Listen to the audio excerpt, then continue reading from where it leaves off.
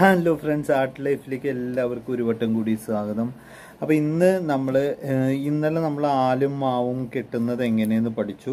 അപ്പോൾ ആലും മാവും കെട്ടുന്നതിന്റെ ഒപ്പം തന്നെ നമ്മളോട് ചോദിക്കുന്ന മറ്റൊരു വസ്തുവാണ് കുമ്പിൾ ആലില കുമ്പിൾ.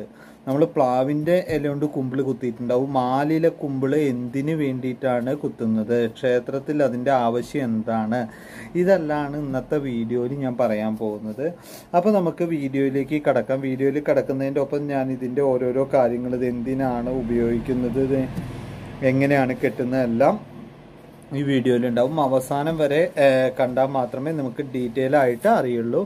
അപ്പോൾ എല്ലാവരും വീഡിയോ ഫുള്ളായിട്ട് കാണണം. അപ്പോൾ ആദ്യം നമ്മൾ ആലിന്റെ കൊമ്പിൽ നിന്ന് ആലിന്റെ ഇലയോട് കൂടിയിട്ടുള്ള കൊമ്പോട് പറിച്ചെടുത്തിട്ട് നമ്മൾ അതിൽ നിന്ന് ഞെട്ടി കൊടുക്കുന്ന ഇല വേർപ്പെടുത്തി എടുക്കണം ഇതേമാതിരി അങ്ങനെ വേർപ്പെടുത്തി എടുക്കുമ്പോൾ മാക്സിമം തിരഞ്ഞ് വേർപ്പെടുത്തി എടുക്കണം അതായത് പൊത്തുള്ളതും ഇതൊന്നും നമ്മൾ ഉപയോഗിക്കേണ്ട ആവശ്യമില്ല. അപ്പോൾ അത് നമുക്ക് മാറ്റിയിടാം. നല്ല ഇല മാത്രം നമ്മൾ ഉപയോഗിക്കുക കുമ്പിൾ കുത്താൻ വേണ്ടിയിട്ട്.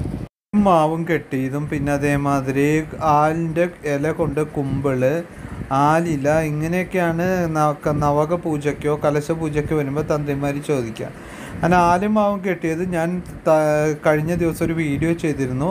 അത് കാണണം എന്നുള്ളവർ നമ്മളെ ഡിസ്ക്രിപ്ഷൻ ബോക്സിൽ ലിങ്കിൽ കയറി നമുക്ക് കാണാൻ പറ്റും. അപ്പോൾ ഇതുപോലുള്ള വീഡിയോസ് ഇനിയും കാണാൻ വേണ്ടിയിട്ട് നിങ്ങൾ നമ്മളെ ചാനൽ സബ്സ്ക്രൈബ് ചെയ്തിട്ടില്ലെങ്കിൽ സബ്സ്ക്രൈബ് ചെയ്യാൻ മറക്കരുത്.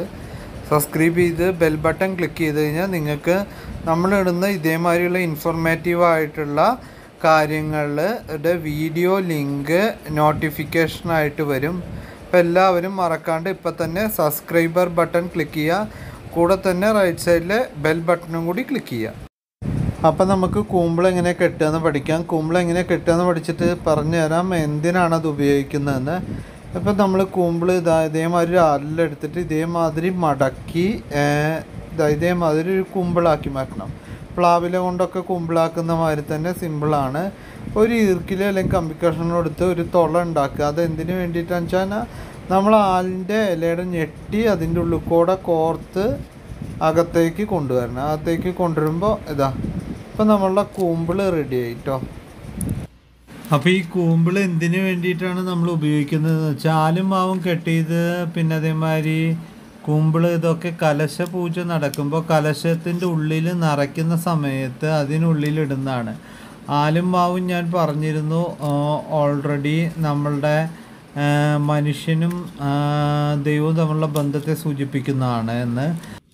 പാലും മാവും കഴിഞ്ഞിട്ട് പിന്നെ കൂമ്പിൾ കൂമ്പിൾ എന്തിനാണ് ഉപയോഗിക്കുന്നതെന്ന് വെച്ച് കഴിഞ്ഞാൽ കൂമ്പിൾ നമുക്ക് നവധാന്യങ്ങൾ അതേമാതിരി നവരത്നങ്ങളെല്ലാം കൂമ്പിൾ കുത്തിയിട്ടാണ് നമ്മൾ കലശക്കുടത്തിലിടുക. കാരണം അത് വേറെ മാറിപ്പോവാണ്ടിരിക്കാൻ കലശക്കുടത്തിൽ നവധാന്യങ്ങളും നവഗ്രഹ ഇതൊക്കെ വേറെ മാറാതെ നമുക്ക് എടുക്കാൻ പാകത്തിനാണ് അങ്ങനെ കൂമ്പിൾ കുത്തുക.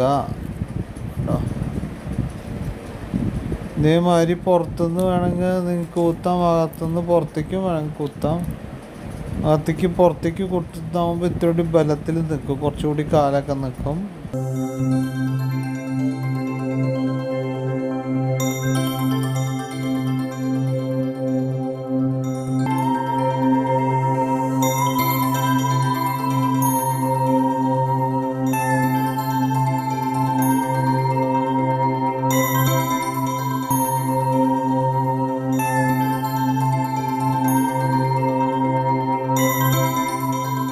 ഇപ്പോൾ ഒരു വട്ടം കൂടി പറഞ്ഞുതരാം. ഒരു ഈർക്കിലെടുത്ത് കയ്യിൽ വെക്കുക. ആലിന്റെ എല്ലാം ഇതേമാതിരി മടക്കണം.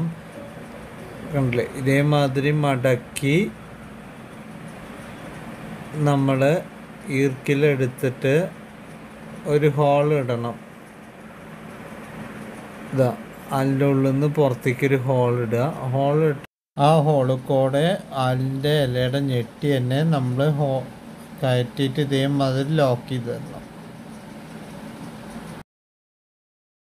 ഇങ്ങനെ കൂമ്പിൾ ഓരോ പൂജകൾക്കനുസരിച്ച് ഓരോ കലശ പൂജയ്ക്കും വേറെ വേറെ എണ്ണാണ് വരിക. എത്ര എണ്ണം വേണമെന്ന് ഉള്ള ഇതിനെ കുറിച്ചിട്ടും ഓരോ പൂജകളെ കുറിച്ചിട്ടും അടുത്ത് വരുന്ന വീഡിയോയിൽ പറയാം. അപ്പോൾ എല്ലാവർക്കും ഈ വീഡിയോ ഇഷ്ടമായില്ലോ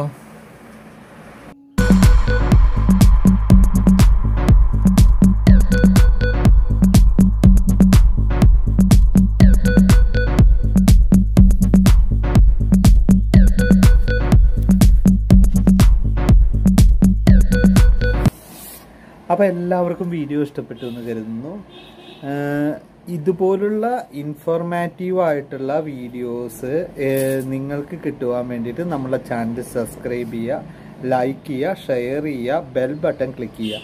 അപ്പോൾ നമ്മളിടുന്ന പുതിയ വീഡിയോസ് നിങ്ങൾക്ക് നിങ്ങളുടെ മെസ്സേജ് ബോക്സിൽ നോട്ടിഫിക്കേഷനായിട്ട് വരും.